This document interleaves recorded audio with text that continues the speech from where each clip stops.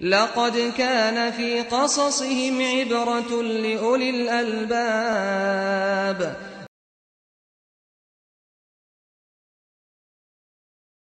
الحمد للہ والصلاة والسلام علی رسول اللہ وعلی آلہ وصحبہ وموالا محترم بھائیوں بزرگوں السلام علیکم ورحمۃ اللہ وبرکاتہ. ہر دن کے جیسے آج قرآنی قصوں میں سے ایک قصہ سنیں گے اور یہ قصہ ہے حضرت شعیب علیہ السلاۃ والسلام کا۔ انسانی تاریخ میں بہت سارے انبیاء و رسول انسانوں کی ہدایت اور رہبری کے لیے بھیجے گئے، لیکن ان میں صرف چار ہی ایسے انبیاء گزرے ہیں جو عرب تھے۔ عرب قومیت کے صرف چار انبیاء گزرے ہیں۔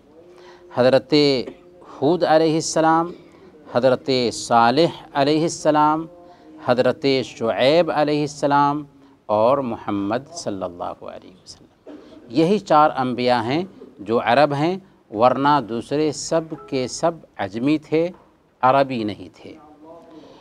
تو حضرت شعیب علیہ السلاۃ والسلام عرب انبیاء میں سے ہیں۔ حضرت شعیب علیہ السلاۃ والسلام فصیح و بلیغ انسان تھے یعنی فصاحت اور بلاغت ان کی زبان میں تھی۔ اسی وجہ سے ان کو خطیب الانبیاء کہا جاتا ہے، کیونکہ بات کرنے کا ان کو سلیقہ آتا تھا۔ حضرت شعیب علیہ السلاۃ والسلام قوم مدین کے بیچ بھیجے گئے تھے یعنی مدین کے جو رہنے والے تھے، ان کے بیچ بھیجے گئے تھے۔ اور انہیں لوگوں کو اصحاب العیکہ بھی کہا جاتا ہے۔ ایکا کا معنی ہوتا ہے گھنے درخت کا جھنڈ۔ اور چونکہ وہ ایک درخت کی بھی پوجا کرتے تھے، اس لیے ان کو اصحاب العیکہ بھی کہتے ہیں۔ تو شعیب علیہ السلاۃ والسلام کی قوم کو اصحاب العیکہ بھی کہتے ہیں اور وہی اہل مدین بھی ہیں، مدین والے بھی ہیں۔ حضرت شعیب علیہ السلاۃ والسلام کی قوم بت پرستی کرنے کے ساتھ ساتھ بہت سارے دوسرے سماجی جرائم کا بھی ارتکاب کرتی تھی۔ چنانچہ راستہ چلنے والوں کو لوٹ لیتی، آنے جانے والوں سے بھتہ اور ٹیکس لیتی اور سب سے بری جو خرابی تھی جس کے ذریعہ قوم شعیب کو شہرت ملی وہ ہے ناپ تول میں کمی کرنا یعنی ڈنڈی مارنا۔ لیتے وقت برابر لینا یا زیادہ لینا اور دیتے وقت کمی کر دینا۔ تو یہ شعیب علیہ السلاۃ والسلام کی قوم کی بہت ہی مشہور خرابی تھی کہ ناپ تول میں کمی کرتی تھی۔ حضرت شعیب علیہ السلاۃ والسلام نے انہیں سب سے پہلے توحید کا پیغام سنایا، ایک اللہ کی طرف بلایا اور یہ بھی کہا فعوف القیل والمیزان ولا تبخس الناس اشیاءہم تم ماپ اور تول کر برابر دیا کرو اور لوگوں کو ان کی چیزیں کم نہ دیا کرو۔ یعنی حضرت شعیب علیہ السلاۃ والسلام نے انہیں ناپ تول میں کمی کرنے سے منع کیا۔ لیکن قوم شعیب نے کیا جواب دیا؟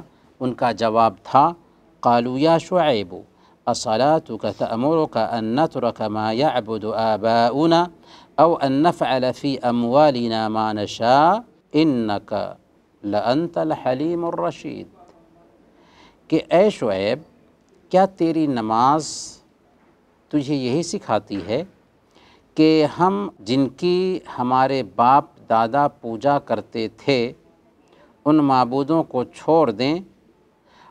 اور اپنے مال میں اپنی طبیعت کے حساب سے، اپنے من کے حساب سے تصرف نہ کریں، تم تو بڑے سمجھدار اور عقل مند لگتے ہو۔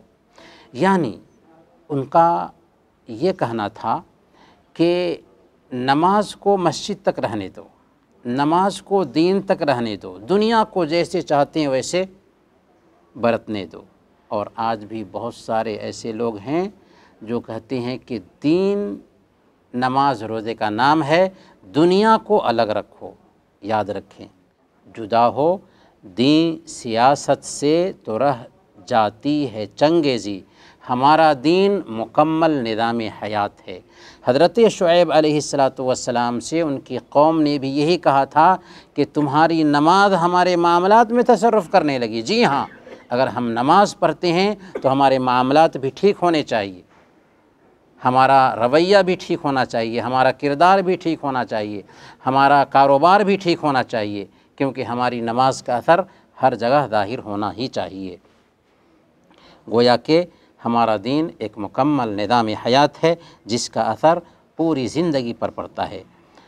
تب انہوں نے بدتمیزی کا بھی مظاہرہ کیا اور حضرت شعیب علیہ السلاۃ والسلام جب ان کو سمجھاتے تھے، بتاتے تھے ایک اللہ کی باتیں سناتے تھے تو کہنے لگے، یا شعیب و ما نفقہ کثیر مما تقول۔ اے شعیب، تمہاری جو زیادہ تر باتیں ہوتی ہیں، وہ سمجھ میں نہیں آتی۔ یعنی ہم تمہاری باتیں نہیں سمجھ پاتے۔ حالانکہ شعیب علیہ السلاۃ والسلام جن کو خطیب الانبیاء کہا جاتا ہے، فصاحت و بلاغت کے ساتھ بات کرتے تھے۔ تو شعیب علیہ السلاۃ والسلام کی بات اگر سمجھ میں نہیں آئے گی تو آخر کس کی بات سمجھ میں آئے گی؟ لیکن وہ اکرفو تھے، متکبر تھے، جس کی وجہ سے اس طرح کی باتیں کرتے تھے۔ بلاخر شعیب علیہ السلاۃ والسلام اور ان کے اوپر جو ایمان لانے والے تھے، ان کو اپنے ملک سے نکالنے کی بھی دھمکی دے دی۔ چنانچہ کہا لنخرجنك يا شعيب والذين آمنوا معك من قريتنا او لتعودن في ملتنا. اے شعیب، ہم تجھے اور ان لوگوں کو جو تجھ پر ایمان لائے ہیں، اپنی بستی سے نکال دیں گے۔ ہاں اگر ہماری بستی میں ٹھہرنا ہے، اگر ہماری بستی میں رہنا ہے، تو ہمارے دھرم میں واپس آنا ہوگا۔ اور ہر زمانے میں جو حکمراں طبقہ ہوتا ہے۔ اللہ کا باغی وہ ایسی ہی دھمکیاں دیا کرتا ہے کمزور لوگوں کو کہ ہم یا تو اپنے دیش سے تمہیں نکال دیں گے یا پھر یہ ہے کہ تمہیں ہمارا دھرم اپنانا ہوگا۔ حضرت شعیب علیہ السلاۃ والسلام کو ان کی قوم کے لوگوں نے یہی دھمکی دی تھی۔ حضرت شعیب علیہ السلام نے کیا جواب دیا؟ حضرت شعیب علیہ السلاۃ والسلام نے کہا، قد افترینہ اللہ قدبً ان عدنا فی ملتکم بعد اذ نجانا اللہ منہا۔ کہ اگر ہم اس کے بعد کہ اللہ نے ہمیں کفر سے نجات بخش دی ہے، تمہارے مذہب میں لوٹ جائیں تو یہ اللہ پر بہت بڑا جھوٹ اور بہتان ہوگا۔ اللہ تعالیٰ نے ہمیں روشنی میں لا دیا۔ اب روشنی حاصل کرنے کے بعد اندھیرے میں جائیں، اللہ تعالیٰ نے ہمیں گندگی سے پاک کر دیا، پھر ہم گندگی میں جائیں۔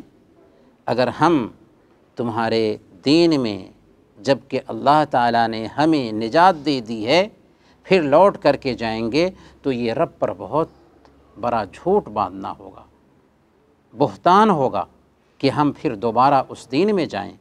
اللہ کے نبی صلی اللہ علیہ وسلم بیان فرماتے ہیں، صحیح بخاری اور صحیح مسلم کی روایت ہے کہ جس کے اندر تین خصلتیں ہوں گی، اس نے ایمان کی مٹھاس پالی۔ اللہ اور اس کے رسول سے اس کو دنیا کی ساری چیزوں سے زیادہ محبت ہو جائے۔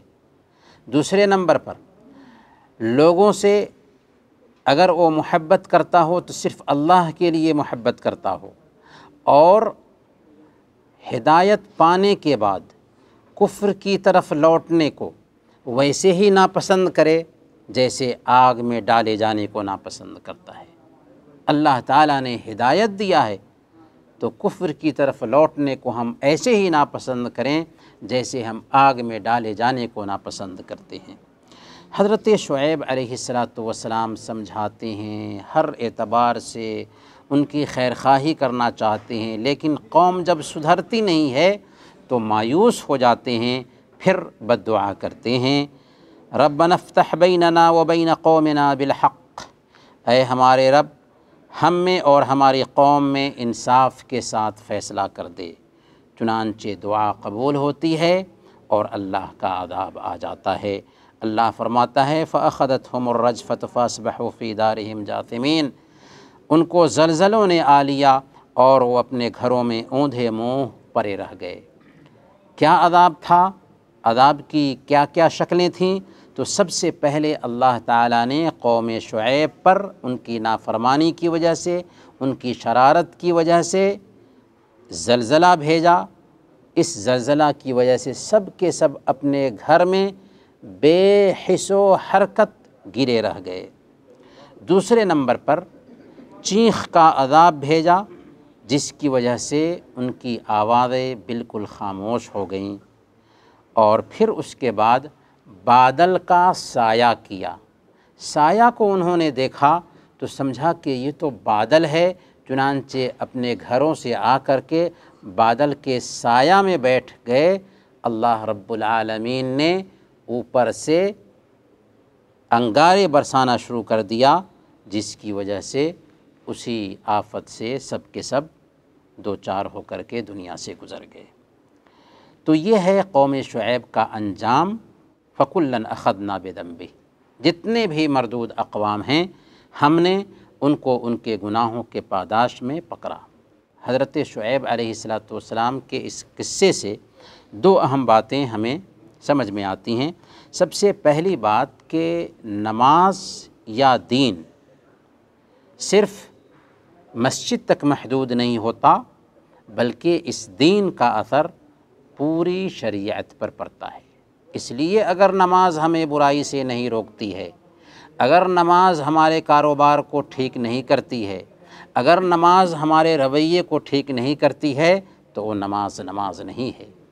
دوسرے نمبر پر اس قصے میں ہمیں اس بات سے بھی آگاہ کیا گیا ہے کہ ہمیں چاہیے کہ اپنے معاملات میں ناپ تول میں کمی نہ کرے، کیونکہ ایک قوم کو ناپ تول میں کمی کرنے کی وجہ سے ہلاک اور برباد کیا گیا۔